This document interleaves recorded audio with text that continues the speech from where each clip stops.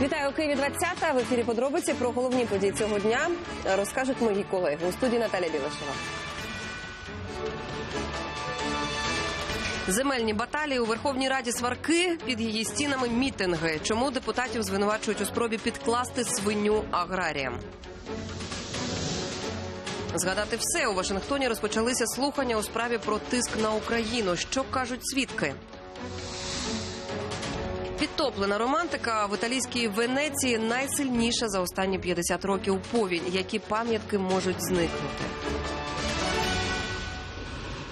Заблокована трибуна, штурханина та вигуки ганьба. Верховна Рада ухвалила у першому читанні закон про продаж землі. Монобільшість підтримала документ. Інші фракції реформу критикують. Які ризики несуть новації та як відбувалося це голосування? Про це в матеріалі. Від самого ранку, задовго до початку засідання, слугу народу вже оточили трибуну на випередження, аби її не заблокували інші фракції. О 10-й про президентські фракції заготовленою промовою з розставленими інтонаціями переконують залу ухвалити закон про ринок землі. Україна остаточно поховає комунізм. Ми нарешті зведемо рахунки з цим маньяком Леніним і з людожером Сталіним, які зробили все, щоб позбавити український народ головного багатства землі. Трибуну з усіх можливих сторін оточили представники інших фракцій, опонентів продажу землі. Опозиційна платформа за життя, батьківщина та європейська солідарність невпинно критикують закон. Доєдналася і фракція голос. Депутати перераховують ризики законопроекту монобільшості. Він передбачає, по-перше, продаж землі. По-друге, ви знаєте, він виписаний так, що він передбачає продаж землі іноземцям. Це треба чесно сказати. Третє, там також передбачено в одні руки видача, роздача землі по 210 тисяч гектарів. Це три території міста Київ. Насправді ми відкриваємо з вами шлях для того, щоб в глобальному світі той, хто має більше грошей, мав і Україну. Причому мав в повному змісті цього слова. Спроба зараз поставити цей законопроект на голосування абсолютно очевидно призведе до розколу в Раді, а завтра до розколу в країні. І тому найбільш мудрим рішенням буде абсолютно просте і очевидно відкласти розгляд цього питання. Сьогодні ви насправді ламаєте через коліно, намагаєтесь ламати через коліно не частину парламенту, а ви намагаєтесь зламати через коліно більшість українського народу, який не розуміє, боїться і жахається цього проекту закону, який ви вносите в зал, який благозвучно називається ринок землі. Насправді, сьогоднішнього дня ви можете сміливо називати себе слугами Міжнародного валютного фонду, слугами Сороса, слугами транснаціональних корпорацій, які лобіювали цей закон. Але ви втрачаєте право називати слугами народу. Слідом за блокуванням трибуни нардепи оточили і президіум. У залі вимушена перерва. Эти слуги сейчас стоят на трибуне вместе с этим, который проститутки вызывает. Там ему нашли новую работу. И они рассказывают, смеясь теперь, что мы сейчас продадим землю, и вы ничего не сделаете. Сделаем. Сделаем. Не здесь сделаем, так через час сделаем. Нет продажи украинской земли. Смотрите в лица этим тварям. Смотрите, что они сейчас творят. И вопрос не в том, смогут ли покупать иностранцы землю, потому что при всех законопроектах, какие бы ни были ограничения, все равно иностранцы через разные, в том числе и пути, прописанные в нашей правовой системе и в законодательстве, смогут это делать. Я могу привести такой пример, что на сегодняшний день около 2 миллионов гектар сегодня находится в аренде э, иностранных компаний. Навіть серед слуг народу не всі поділяють позицію монобільшості. і Деякі депутати закон підтримувати не хочуть. Я все таки вважаю, що суспільство не готове, аби ми приймали сьогодні такий законопроект. цей законопроект не гарантує, що малий землевласник, українець, який має декілька гектарів паю, зможе через цей законопроект почувати себе захищеним від держави, захищеним навпаки, захищеним державою, захищеним від рейдерів. Та попри це, після наради голів фракцій, повернувшись до сесійної зали, спікер виніс законопроекти, пов'язані з ринком землі, на розгляд. Їх 11 заслуховували по черзі. Ми маємо громадянам надати можливість розпоряджатися своєю землею, дати людям, які живуть в землі, володіти цією землею. Після двох годин презентацій та обговорень голосування слуги народу по перервах вирішили у першому читанні підтримати документ, розроблений профільним комітетом. Він скасовує мораторій з жовтня 2020-го. Купувати землю зможуть українські компанії та фізособи. Юридичні особи, де власники іноземці, також можуть придбати землю, якщо орендують її протягом останніх трьох років. Переважне право на купівлю чорнозему в орендаря. У нас зважена позиція. Ми кажемо, давайте відкриємо в Україні ринок для українців. Люди побачать, що нічого страшного немає. Вони самі будуть просити. От моє бачення, через рік вони кажуть, я продав за дві тисячі, а як хоч, хоч- хочу продати наступний свій гектар, краще за п'ять. А хто її купить за п'ять? Внутри немає грошей. Давайте нехай іноземці прийдуть і куплять мій, мій гектар за п'ять. Ми проти цієї реформи. Ми про це відкрито заявили. Ми сьогодні блокували трибуну з цього приводу. Реформи зараз цієї бути не може. З двох причин: перше, потрібно розпаювати державні землі серед тих людей, які не отримали земельних паїв. І друге, це референдум. Це ключова вимога. Люди, українці на референдумі повинні визначити, буде або не буде ринок землі. Тому що в бідних країнах, а на жаль, Україна бідна країна, такий ринок призведе до того, що люди будуть позбавлені своїх паїв. І друге, українці в цих умовах не можуть купувати землю. У них немає для цього грошей або доступу до банківських ресурсів. Закон у першому читанні підтримали мажоритарники та слуги, хоча й не всі. А після голосування опозиція поповнилася фракцією Батьківщина. Катерина Лисенко, Ксенія Барвіненко, Сергій М'ясоєда, Володимир Самченко, Петровиці, телеканал Інтер. Доки депутати сперечалися, під стінами парламенту знову було гаряче. Тисячі фермерів з усієї країни протестували проти ухвалення законопроекту про ринок землі і навіть е, проілюстрували, до чого можуть призвести такі реформи. Подивимось.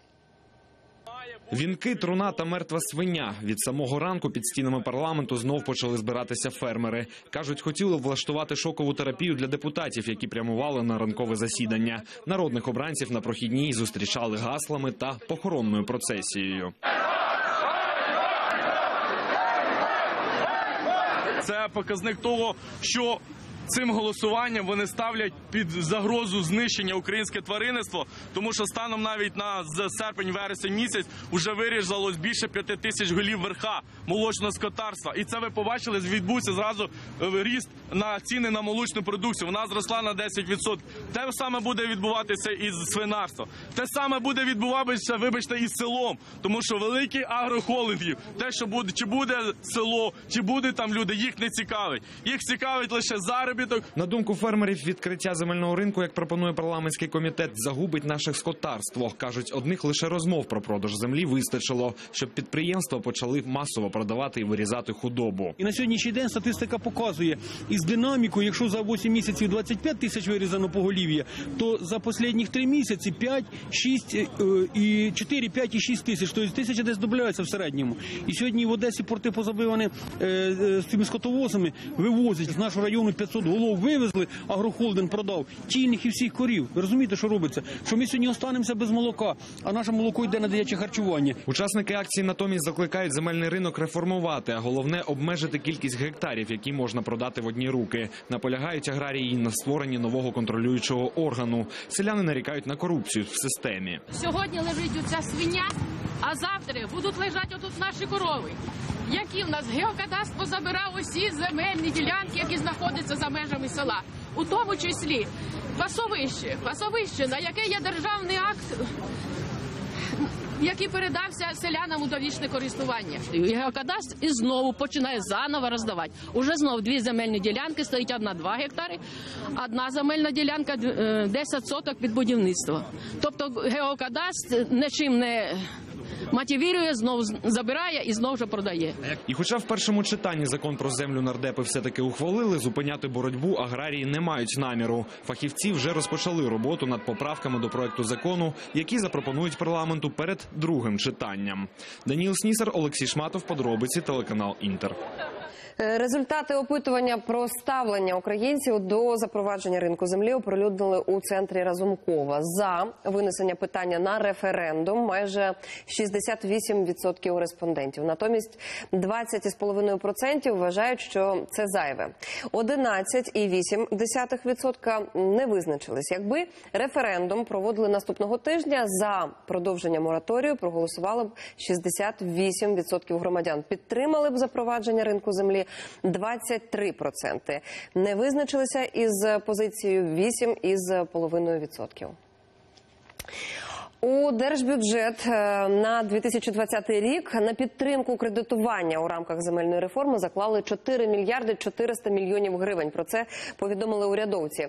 Чи реально буде скористатися цими коштами у рамках земельної реформи, яка передбачена на кінець 2020 року? Дивіться далі.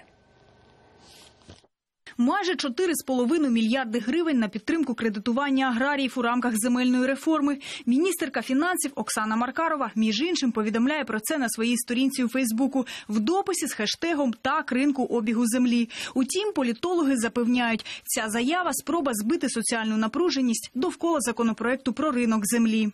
Сам факт появи такої заяви це спроба збити суспільну недовіру в цілому до ініці- ініціатив пов'язаних з продажем землі. Ну, это такая своеобразная подачка, которую власть бросает фермерам для того, чтобы просто сбить накал э, социального напряжения. На думку політологів, просто закласти гроші в бюджет недостатньо. Щоб передати кошти тим, хто їх справді потребує, необхідно спочатку створити для цього механізм, бо гроші на аграрні дотації закладали й раніше, та до фермерів вони не доходили. Хочеться вірити і сподіватися, що так буде, тому що в принципі ці механізми вони були передбачені бюджетами попередніх років, але дуже часто складалося так, що е, відповідні дотації і відшкодування з бюджету отримували якраз великі агрохолдинги, а не дрібні фермерські господарства. Сказати, що у нас в бюджеті така є сума закладена, це що не це не означає сказати, що ці кошти реально отримують люди, які фермери, які ці кошти потребують.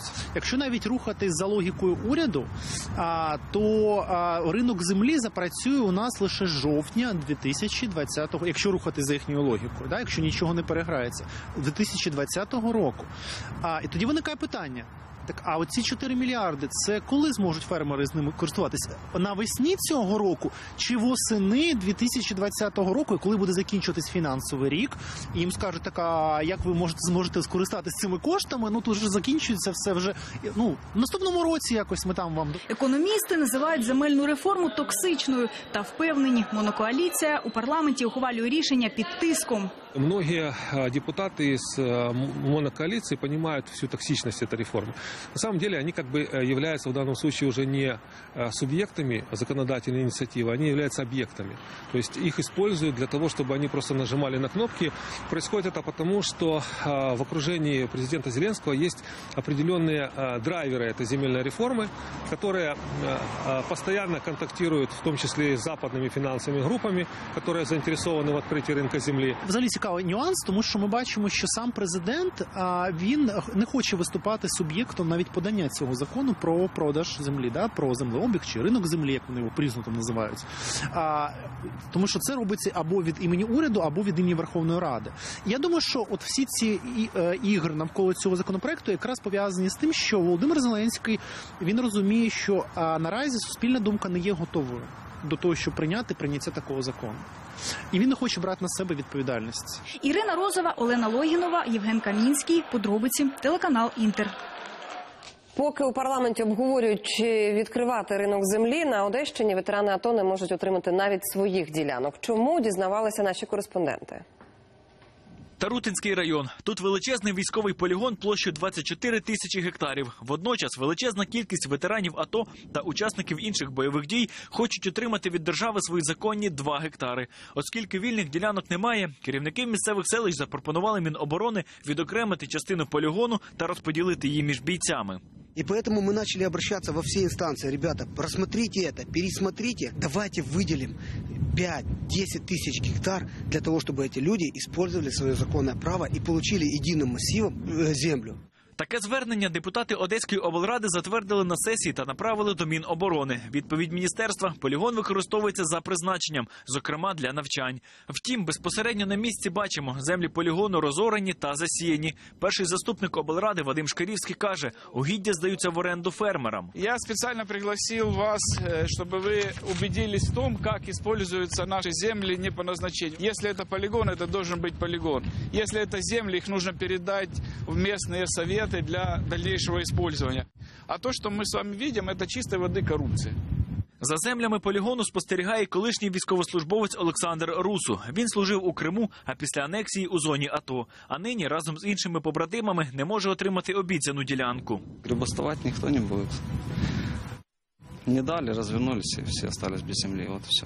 Многие у нас а так, так до конца и останутся без земли. А землей дальше кто-то будет. Вадим Шкирівський каже, його поліцила опозиційна платформа за життя добиватиметься вирішення цього питання на користь ветеранів.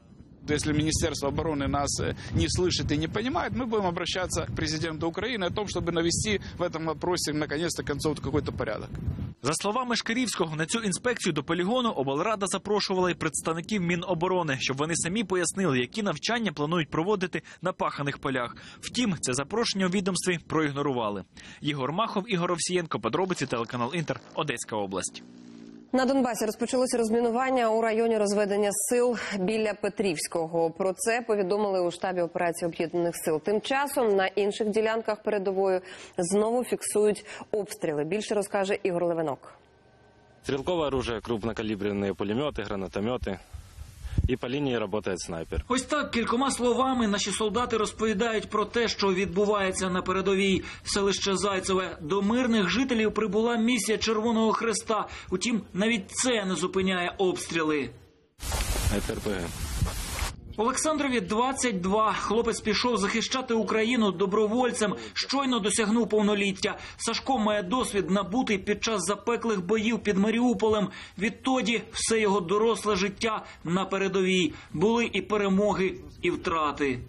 Да, полгода назад в Водином погиб мой лучший друг от пулевой снайпер с 338. Выстрелил прямо в голову. Зайцеве поділене лінією розмежування. Часто густо вогневі позиції стрільці з того боку облаштовують у спорудах. Все дома двухэтажные, на второй этаж залазишь, и нас видно тут как на ладони, грубо говоря. А, Бывает, да, такое вот, что, ну, противник э, прикрывается местными, э, чтобы, ну, мы как бы по ним не работали, потому что, ну, местные же не виноваты. Життя місцевих залежить і ось від таких автомобілів. Раз на місяць сюди прибуває відділення банку на колесах, аби люди отримали пенсії. Броньований автомобіль під охороною поліцейських. Як вам і И спокойно, и прилітає. Прилетает. Ну вот моя соседка прилетела к двум соседкам.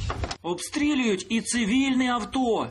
Да, по гражданской машине э, одиночный пострел был. Слава богу, там 2 метра или метр, ну, не хватило, чтобы по капоту. Тож нашій групі військові побажали успіху і швидкості, аби не потрапити раптом у приціл. Із Донецької області Ігор Левинок, Дмитро Курченко, Іван Шеремет. Подробиці телеканал Інтер. Жваві дискусії через е, соцвиплати. Гаряче сьогодні було у парламентському комітеті з питань соціальної політики. На порядку денному прожитковий мінімум пенсії та допомога чорнобильцям. Здебільшого йшлося про перегляд постанов уряду щодо суми соціальних виплат. У комітеті переконані, що влада має змінити пріоритети і винести ці питання на обговорення до сесійної зали вже завтра.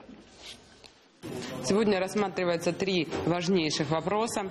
Первый вопрос – это пересмотр прожиточного минимума, и мы настаиваем на том, чтобы правительство пересмотрело прожиточный минимум и перестали обманывать граждан Украины. Как это делало правительство Гройсмана, мы подготовили соответствующий законопроект, и сегодня будем его рассматривать на заседании комитета. Второе важное решение – это чернобыльский вопрос. И третий важнейший вопрос, самый важный сегодня, мы подготовили законопроект о том, чтобы восстановить выплаты пенсий людям на неконтролируемой территории. Хотя после вот того, что мы увидели голосование э, по земле, я не удивлюсь, что слуги народа уйдут окончательно э, служить олигархам и перестанут рассматривать э, социальную повестку дня. 300 тисяч доларів за посаду на хабарі погоріла керівниця одного із департаментів офісу президента. За версією слідства, чиновниця вимагала винагороду за сприяння у призначенні на керівник крісло до НАК «Нафтогаз України. Спіймали на гарячому також її спільників. Вони саме отримували аванс 150 тисяч доларів. На корупційний скандал вже відреагували в офісі президента. Там запевняють, що корупцію треба подолати. Головна фігурантка справи працювала у відомстві із 2005 року. У НАБУ повідомили про підозру власнику VIB банку Олегові е, Бахматюку та його колишньому очільнику Денисові Мальцеву. Керівників збанкрутілої фінустанови е, звинувачують у крадіжці понад мільярда гривень стабілізаційного кредиту НБУ. Місце перебування підозрюваних правоохоронцям невідомо, тож документи надіслали поштою за місцем реєстрації. У справі про розкрадання державних грошей фігурують 15 працівників і кілька посадовців НБУ. and boom. Безстрокова акція протесту розпочалася під стінами Національного банку України. Громадські активісти вимагають відправити у відставку голову НБУ. Керівництво звинувачують у хабарництві та махінаціях із цінними паперами. Зранку біля фінустанови встановили військовий намет. Щоправда, щоправда, простояв він лише годину. За словами активістів, стоп корупції правоохоронці намет зламали і травмували кількох мітингарів, попри дозвіл на проведення акції. Колона почала відтискати людей, обступила намет, е, звалила його, порвала пополам на дві частини. В свою чергу завдала ще декільком із активістів тілесних ушкоджень. Після чого ми викликали е, на місце е, безпосередньо слідчо-оперативну групу, яка фіксувала це все. Відповідно написали заяву і дали пояснення. Ми офіційно дали заявочку про проведення мирної акції. То затримали співробітника Нацбанку, то десь хабари якісь передавали. Це і махінації з облігаціями внутрішнього державного займу, це рефінансування, яке чомусь отримували окремі банки, а потім ці мільярди гривень, вибачте, мільярди виводилися в офшори. Тому ми вимагаємо, аби а була політична відповідальність керівництва Нацбанку, б щоб Верховна Рада сформувала тимчасову слідчу комісію та розслідувала ці факти. Скандал у рівному зупинення авто завершилося нападом на поліцейських. Як тепер порушники намагаються ховатися від е, правосуддя, знають наші кореспонденти. Рівне неподалік міського озера патрульні зупинили позашляховик. У машині четверо чоловіків. Всі мали явні ознаки алкогольного сп'яніння, особливо е, пасажири, які поводили дуже зверхньо і зухвало себе. І на одне з зауважень припинити е, опір працівникам поліції. Один з пасажирів спробував вийти з автомобіля, і в нього е, з рук випав пістолет, е, бойовий пістолет. Дебошурів затримали, тоді побачили у водія на нозі електронний браслет. Виявився чоловік під домашнім арештом. У двох із пасажирів уже теж були проблеми з законом. А ще один колишній працівник міліції. Ну, це контингент, як би мовити, постійні клієнти е, поліції, е, тобто особи раніше судимі за тяжкі злочини. Е, що стосується е, працівника МВС, пенсіонера, який, е, який на сьогоднішній день на пенсії і здійснює адвокатську діяльність. Нам попередньо відомо, що е, дехто з цих пасажирів Рейндж Ровера це його клієнти. Колишній правоохоронець Сергій Авраменко, полковник міліції, і зброя його нагородна. Цей працівник, як ви говорите, бувший, е, він сказав, що моя воля я би вас всіх перестріляв. Має такі досить впливові зв'язки, і вже наперед погрожує працівникам поліції про те, що ми будемо мати досить багато проблем. Під час затримання так один патрульний постраждав. Йому було нанесено тіле легке тілесні ушкодження. У поліції нині відкрили провадження за опір. кажуть, усім фігурантам справи загрожує до трьох років позбавлення волі. Зброя вилучена, патрони вилучені, автомобіль вилучений, е, перебуває на штрафмайданчику. Слідчі е, не вбачають, е, що ці особи можуть переховуватися від слідства. Вони тут місцеві, відомі люди, тому якби підстав для того, щоб їх затримувати, слідчі не побачили. Поки слідчі вирішують, чи оголошувати підозру, колишній правоохоронець Авраменко раптово занедужав. Розшукати чоловіка вдалося в обласному центрі торакальної хірургії. Ми вислухали версію поліції. Хочемо вашу. То ви не хочете? Які проблеми зі здоров'ям у пацієнта дізнатися ми не змогли. Не на камеру сказав, вважає себе потерпілим. Сніжана Сидорук, Микола Василюк, подробиці телеканал Інтер Рівне. Медичні протести по всій країні сьогодні на акції вийшли студенти-медики. У чому молодь звинувачує чиновників МОЗ? Дивіться у матеріалі. Площа ринок, Львівська міськрада. Кілька десятків студентів-медиків мітингують проти нового наказу Міністерства охорони здоров'я. За поетапне реформування інтернатури. У МОЗ підготували зміни для студентів медфакультетів, подовжити тривалість навчання та скоротити кількість спеціальностей. Замість 34 залишити 13. Е, Хочу збільшити нам кількість років навчання інтернатури. Тобто, якщо на зараз на даному етапі е, інтернатура від 1 до 2 років, нам хочу її збільшити від 3 до 6 років. За новими умовами МОЗ студенти шостого курсу тепер складатимуть іспит крок 2 Це американські тести, які не завжди відповідають українській програмі навчання, кажуть майбутні медики. Дуже багато всього, чого ми в основній літературі ми того не читали. Там, наприклад, розрахунки йшли за американськими стандартами. В нас зовсім інші одиниці виміру йдуть. Розподілятимуть в інтернатуру студентів лише після цього тестування. Утім, як саме поки що не пояснили. У нас в Україні 6 тисяч випускників. Якщо 6 тисяч випускників е, буде мати одинаковий бал, як тоді буде відбуватися розподіл? Е, Як забезпечиться місце власне інтерна на робочому місці? І нам хочуть е, що пояснити, що нова реформа це вона нас прирівняє до європейських стандартів, але але взамін нам нічого не дають. Тобто, чи буде дійсний наш диплом за кордоном? Ні, не буде. Чи чи будуть якісь стажування? Ні, не буде. У студентів-медиків із Дніпра запитання до міністерства і вимоги ті самі. Відповіді шукали біля обласної держадміністрації. Нова інтернатура геноцид випускника. Студенти непокояться. Нововведення може змарнувати всі шість років навчання. За документом, який мають ухвалити у Верховній Раді, студентів практично позбавляють права обирати спеціальність. Я, например, тоже там с первого курса мечтала быть там офтальмологом, да, и сейчас как бы мои мечты, все, которые я лелеяла все шесть лет, они как бы накрываются медным тазом. Студенти кажуть, подовження інтернатури поставить їх на межу виживання. У нас будет зарплата 3200, и в таком возрасте на такие деньги прожить невозможно, так как у некоторых уже есть семьи, да и вообще даже одному на такие деньги в нашей стране сейчас прожить очень сложно. Акції протесту відбулися в Києві, Харкові, Запоріжжі, Тернополі та інших містах України. Студенти збирають підписи під листом до президента та МОЗ. Проситимуть не ухвалювати міністерський наказ про інтернатуру. Андрій Хоменко, Христина Гашенко, Олена Мендалюк, Юрій Голубінка, Іван Біленко. Подробиці телеканал Інтер. Допомоги потребує 11-місячна Єва із Києва. Лікарі діагностували у дівчинки рідкісний е, різновид епілепсії. Стан дитини украй тяжкий, необхідна операція. Її призначили на наступний понеділок, це 18 листопада. Та зібрати необхідної суми сім'ї Єви досі не вдалося. Про боротьбу за життя дивіться у наступному матеріалі. Порушення в розвитку доньки батьки помітили ще в три місяці. У крихітки передчасно заросло тім'ячко, тож сім'я звернулася до лікарів. Встановити причину медики намагалися два місяці, доки на одному з прийомів у Єви не почалися судоми. Тоді батьки вперше почули остаточний діагноз епілепсія. Нам постоянно говорили каждый день, что это какое-то смертельное заболевание, как краболея, хромосомные нарушения. То есть вот каждый день говорили, что ребенок умрет в течение года. Но диагноза так мы и не получили. После всех анализов стало понятно, что у нее есть генетическая поломка. Она очень редкая, она есть всего у 25 человек в мире, сейчас зафиксирована. Хвороба Єви вроджена і медикаментозно її не лікують. Таких як вона у світі дуже мало. У свої 11 місяців дівчинка не може навіть тримати голівки. А усе, чого навчають її на заняттях, малеча забуває за кілька тижнів. Вот она сейчас такая беспокойная, потому что у нее зубки лезут.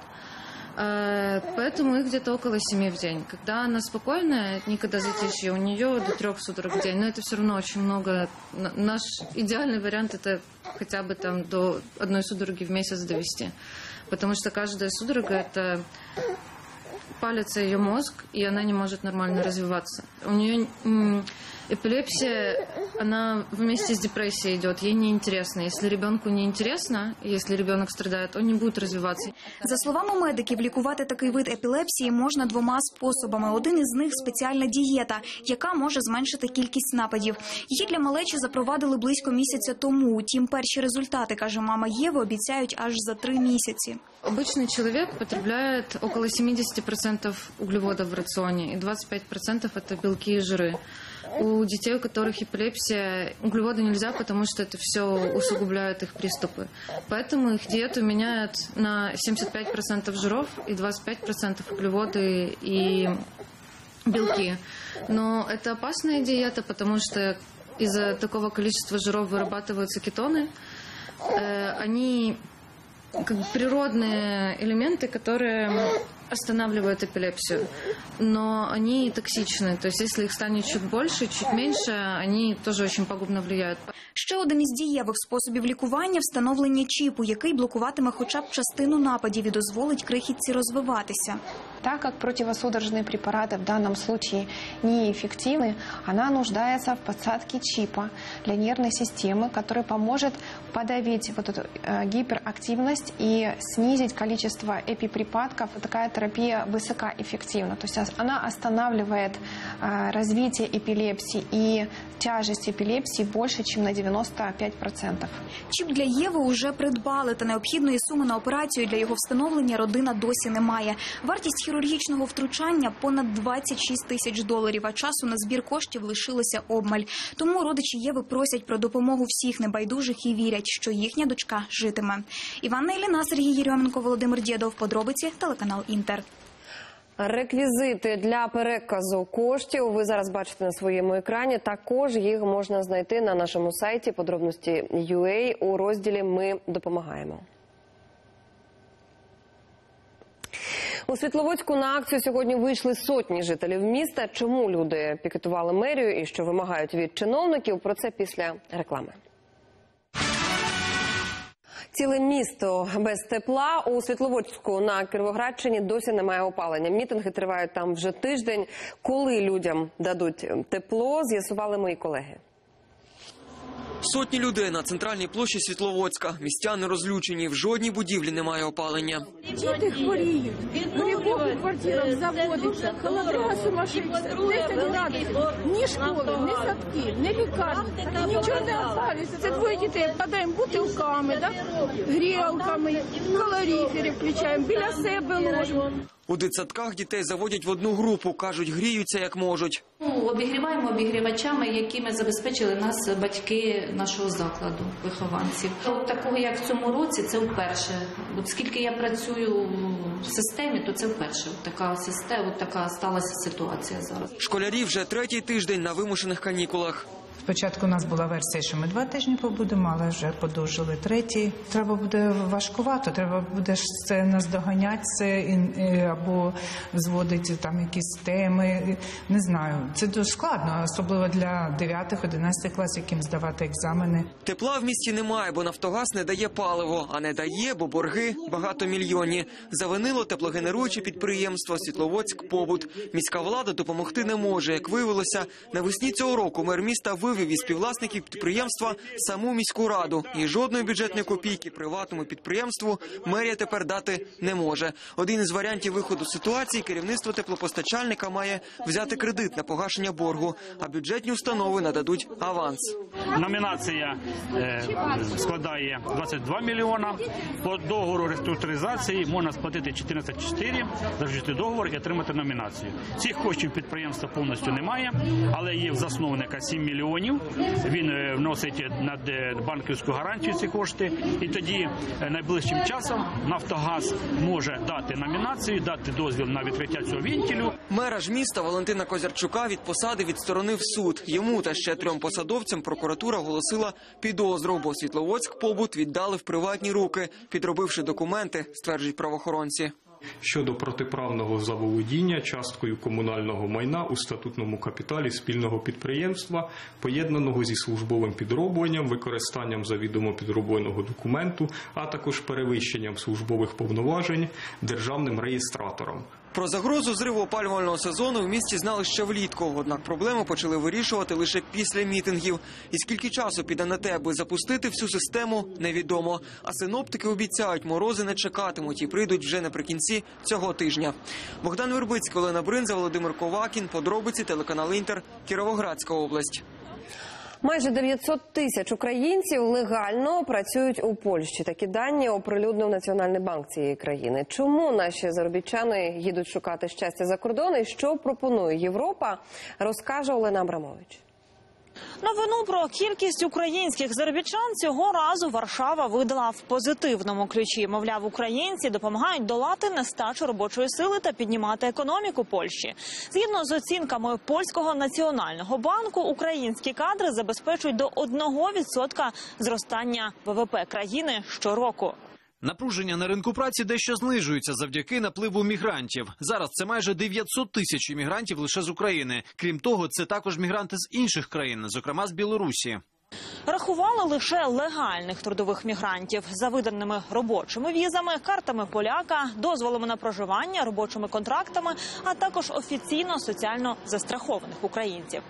Середньостатистичний українець працює на Польщу приблизно 7 місяців на рік. Відзвітували в Нацбанку, але не завжди на польській території, кажуть дослідники трудової міграції в ЄС. Згідно з даними по Бельгії, тут перебувають у відрядженні близько трьох тисяч українців, і дві тисячі з них із країн єС, переважно з Польщі. Польща в трійці країн Євросоюзу, які відряджають найбільше своїх працівників на роботу до інших країн. Польські компанії фактично пропонують більш розвиненим країнам дешеву робочу силу. Варшава від цього виграє, бо й податки і соціальні внески залишаються у неї. Українські працівники спочатку йдуть до Польщі, отримують там дозвіл на роботу, а потім можуть надавати послуги в інших країнах-членах ЄС, перебуваючи у відрядженні. І згідно з правилами, вони мають сплачувати соціальні внески в Польщі. Найбільше користуються цією схемою східноєвропейські країни. У Бельгії чимало українців, які отримали дозвіл на роботу також у Словаччині, Чехії, Словенії. І хоча ці країни мають прибуток від такої робочої сили, часто саме українські заробітчани стають підставою для відмови брати участь у розподілі біженців від ЄС. Ми хочемо самі вирішувати, кого залишати на своїй території. Не можна просто лишати кордони відкритими і пускати в ЄС людей, нездатних прогодувати себе. І нехай не кажуть, що Чехія не солідарна. До нас прибули тисячі людей з України, де досі триває війна. І ми прийняли їх без слів і виправдань, але юридично на підставі дозволу на роботу і дозволу на проживання. Та в Бельгії до таких заяв ставляться скептично. Тут добре розуміють трудові мігранти, які працюють і сплачують соціальні внески, і біженці, котрі потребують матеріальної допомоги. Це зовсім різні речі. Олена Абрамович, Вадим Свиридонов, подробиці Європейське бюро телеканалу Інтер. Українська справа Дональда Трампа у Конгресі США розпочали відкриті слухання щодо можливого тиску американського президента на Київ. Що кажуть свідки, і чи можливий імпічмент очільника Білого Дому Дмитро Анопченко стежить за драматичними подіями у Вашингтоні. Преса із самого ранку чергує під дверима. Хтось просто звідси виходить у прямий ефір, але більшість чекають, коли на слухання прибудуть головні свідки. Два провідні дипломати Вільям Тейлор і Джордж Кент розраховують, хоч на якийсь коментар, але ті швидко проходять у будівлю, не сказавши ані слова. І репортерам позують хіба що нечисленні протестувальники, які прийшли до стін конгресу з вимогою усунути президента. Усередині небачена кількість журналістів і ще більше поліції. А також уперше відвідувачі. Люди, як бачите, доволі різні, адже до цього все відбувалося тільки за зачиненими дверима. Чимало американських змі написали сьогодні, що конгресова зала, де цього разу відбуваються слухання за інтер'єром. Нагадує театр, і це направду так. І події всередині справжня драма, за розвитком якої спостерігає сьогодні вся Америка. Рейтинги телевізійної трансляції б'ють рекорди популярних телесеріалів. І головні герої цієї серії дійсно головні свідки Кент і Тейлор, на показання яких демократи дуже розраховують. Заступник держсекретаря відкрито каже про спробу іноземного втручання в американські вибори. Та цього разу це формулювання не стосовно Росії, а щодо спроб команди Трампа зробити розслідування проти сина Байдена умовою надання військової допомоги Києву.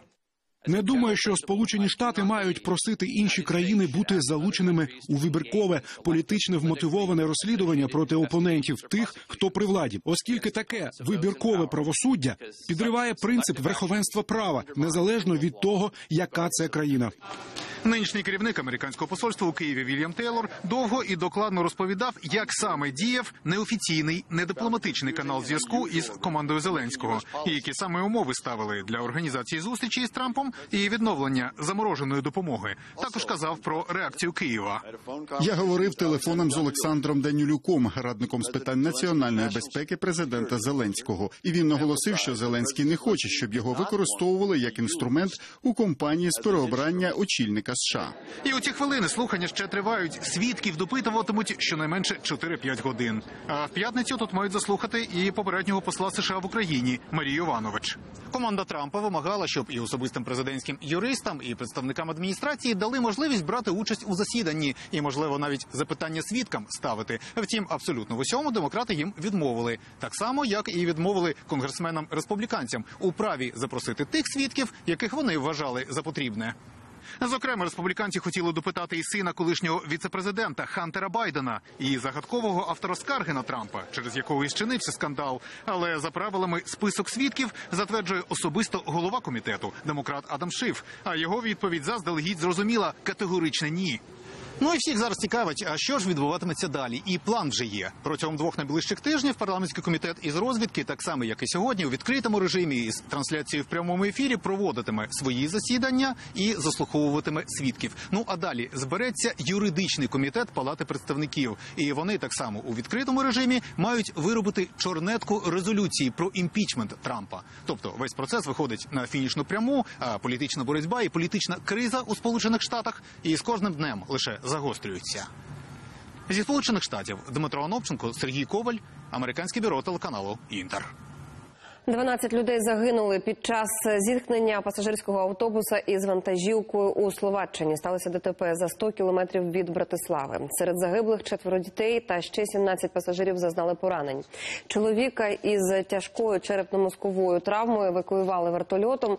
Рятувальну операцію ускладнили е, сильні дощі. Причини аварії зараз встановлюють. За попередніми даними, ваговоз виїхав на зустрічну смугу. 21 людина загинула внаслідок обстрілу Ізраїлем території сектора Газа. Про це повідомляють в адміністрації Палестинської автономії. Збройне протистояння почалося напередодні, коли Ізраїль знищив ватажка угрупування Ісламський джихад. У відповідь терористи почали випускати ракети по території єврейської держави. Кілька бомб упали поруч із житловими будинками. В Ізраїлі відповіли повітряними ударами у прикордонних районах країни. Скасували заняття та підняли по тривозі системи ПВО. Ми продовжуємо знищувати ісламський джихад після того, як ліквідували ватажка бойовиків у секторі Газа. Він був відповідальний за більшість терактів, організованих на цій території цього року, і планував здійснити ще напади. Ізраїльтяни обманюють. Це мій будинок на три поверхи. Він був знищений їхнім ударом. Це не військовий об'єкт, а дім для восьми людей. Лунають сирени в італійській Венеції. Там найбільша за півстоліття повінь. Через затяжні дощі рівень води у венеційській лагуні піднявся майже до двох метрів. Деякі туристичні принади довелося закрити. Найбільше непокоїть, як зберегти собор святого Марка, пам'ятку 12 століття. Напередодні невідомий чоловік вирішив покупатися просто на площі перед святинею. Міська влада готова оголосити режим надзвичайного стану і просить допомоги в уряду. Вітри з півночі та півдня нагнали морської води в лагуну. Рівень підвищився ще на 20 сантиметрів. Море накрило острів Пелестріна. Будинки там затоплені. Двоє жителів стали жертвами. Чому в Іспанії заблокована одна із е, важливих автострад? Як екоактивістка Грета Тумберг планує знову перетнути Атлантику? І чи можна закінчити університет у 9 років? Про це та не тільки у нашому огляді. Буремна Каталонія. Мітингувальники знов заблокували одну із ключових автострад в автономії. Через барикади утворилися величезні затори. У пасі опинилося близько півтисячі автівок. Водіям та пасажирам, що застрягли на місці протягом ночі, рятувальники роздавали воду, їжу та ковдри. Врешті дорогу все ж вдалося розблокувати. У такий спосіб каталонці протестують проти вироків політикам та активістам за участь у референдумі про незалежність. Неспокійно і в Багдаді. Сили безпеки Іраку застосували бойові кулі проти протестувальників, що знову штурмували так звану зелену зону у центрі міста. Там розташовані іноземні посольства і урядові будівлі. Щонайменше одна людина поранена. Вже півтора місяця в країні тривають масштабні протести. Люди невдоволені поганим рівнем життя та корупцією в країні. За час протестів вже загинуло 320 осіб. Залишатися далі неможливо. США терміново евакуюють родини своїх дипломатів з Болівії через масові безлади в країні. Люди звинувачують президента Ева Моралеса у фальсифікації виборів. Три дні тому лідер подав у відставку та втік із країни. Однак тепер на протести вийшли прихильники президента. Поліція повідомляє про чимало випадків мародерства. Дивом не постраждав. В Австралії розбився гелікоптер, що гасив лісові пожежі. Пілот дістав лише незначні травми. Причини аварії не повідомляють. Не виключено, що вертоліт натрапив на перешкоду через майже нульову видимість. Масштабні лісові пожежі на сході Австралії не вщухають вже понад тиждень. Стихія забрала життя трьох осіб. Загинуло сотні диких тварин. Зруйновано житлові будинки. Сильні пожежі пов'язують із глобальним потеплінням. Ще одну мандрівку заради збереження клімату анонсувала Грета Тунберг, 16-річна екоактивістка із Швеції, перетне Атлантику на екокатамарані, аби взяти участь у кліматичній конференції у США. З екологічних міркувань дівчина відмовляється від перельотів на літаках, адже вони викидають в атмосферу найбільше парникових газів. Минулого разу Грета дісталася Америки вітрильною яхтою на сонячних батареях. Утім, пізніше стало відомо, що екіпаж все ж летів назад літаком. Дев'ятирічний вундеркінд нідерландець Лоран Сімон збирається закінчити університет у 9 років. Хлопець нині завершує навчання на факультеті електроніки в технічному університеті Ендговена, на який вступив лише рік тому. Перед тим за півтора року здобув атестат про завершення школи. IQ хлопчика 145. Найбільше любить математику і мріє стати кардіохірургом. Маленький геній паралельно освоїв курс медичного факультету університету Амстердама. Це всі новини на сьогодні. Приємного вечора. Побачимось.